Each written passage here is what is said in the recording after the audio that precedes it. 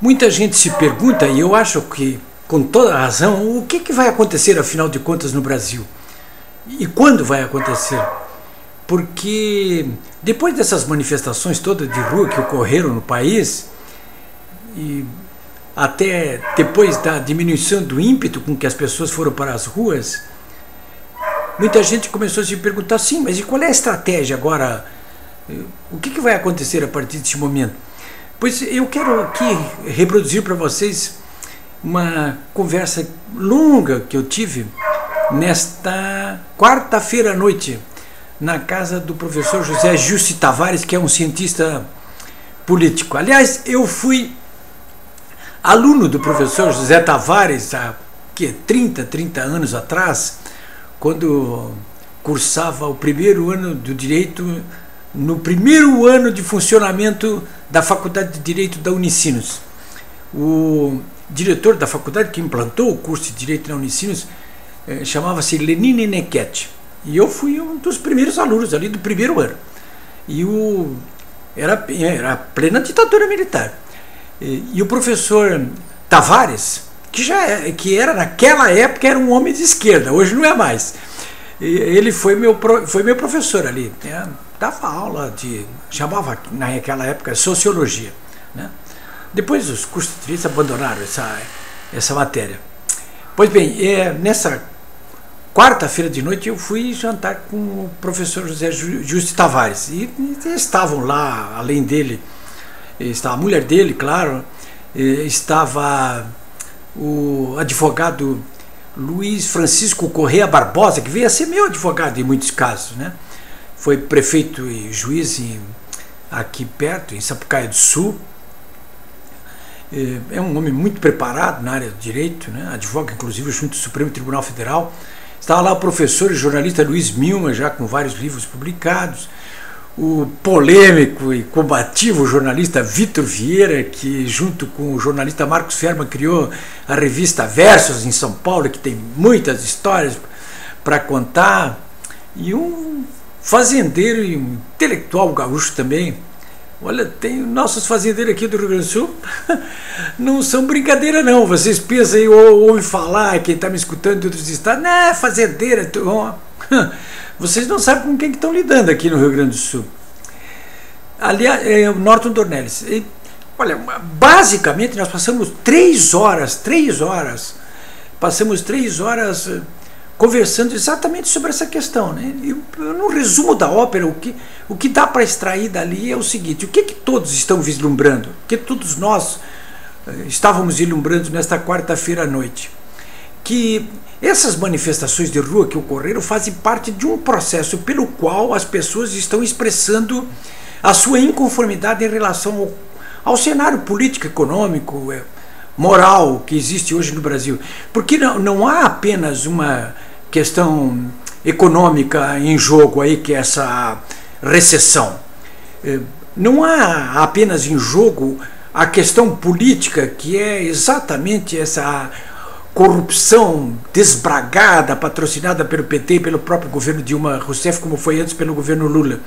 Mas há também uma crise moral muito grave em jogo, que é essa decomposição, sobretudo dos costumes, é, dessas minorias que eu chamo é, é, sociais, é, inconformadas, marginais, que querem impor modos de vida e de existência com as quais a grande maioria da civilização não concorda e não pode concordar, porque seria o seu suicídio coletivo. Bom, essas questões estão postas aí. Muito claro. Essa questão moral até não está exposta em cartazes, em, manifestos de rua, mas o que me chamou a atenção muito, e deve chamar a atenção de você também, se você tem participado das manifestações de rua aí em São Paulo, em Maceió, em Chapecó, aí em Cascavel, Jaraguá do Sul, vocês devem ter notado também, se prestar atenção nas pessoas que estão participando dessas manifestações, que estão se expressando através desses atos públicos, vocês devem notar que nós não estamos contando com o apoio dessa gente. É, não, não estamos contando com o apoio, claro, e nem queremos do PT e dos seus aliados, mas também não estamos contando com o apoio de dessas eh, que eu chamo minorias eh, inconformadas com o modo de vida que nós eh, devemos ter. Né?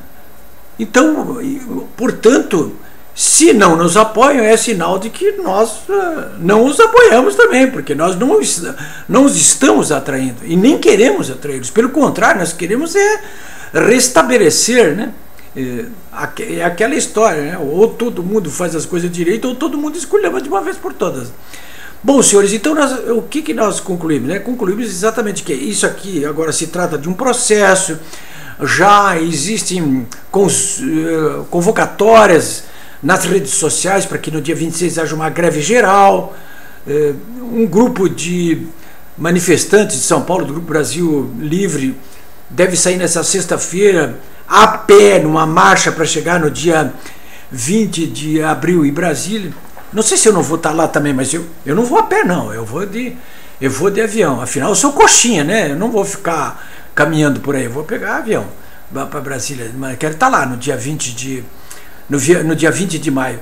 Então, isso tudo aí é, uma, é, uma, é um caldo de cultura que está se formando. Mas o mais importante, eu já estou concluindo, mas o mais importante de tudo é o seguinte: Nesta quarta-feira, pela primeira vez, veja só, nesta quarta-feira, pela primeira vez, pela primeira vez, partidos políticos começaram a discutir a questão do impeachment da presidente Dilma Rousseff, da decretação, decretação da ilegalidade do PT e, inclusive, passar a discutir de que modo pode se operar a transição, porque se a Dilma for caçada e o PT for caçado também, vai assumir o Michel Temer. Mas é evidente que todos nós que estamos neste momento batalhando para que a economia possa oferecer pelo menos uma perspectiva de melhora, para que a política se livre desse antro de corrupção que a está dominando, para que a moralidade volte a se instalar dentro dos governos e da vida pública e privada do Brasil, nós queremos, evidentemente, que o governo que vier depois ele assuma compromisso, um pacto para restabelecer a moralidade pública e privada, para restabelecer as condições de governabilidade, para restabelecer uh, as condições mínimas para que a, a economia possa se recuperar. Então, é isso que vai acontecer. É, é isso que nós desejamos. Se isso vai acontecer ou não vai acontecer, é outra história. Mas agora estamos todos dentro de uma panela de pressão. É, é, e vocês sabem, panela de pressão, se não puxar o pininho e apitar, ela explode, né? Nós não queremos que exploda. O pininho é fora de uma que é a síntese de tudo isso que eu acabei de falar para vocês. Né? É, é isso aí.